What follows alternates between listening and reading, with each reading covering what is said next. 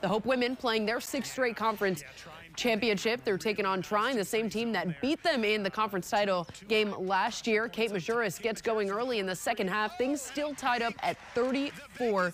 But from there, the Dutch go on a 10-0 run. Carson Carlbloom going to knock down the three ball here to make it 54-41.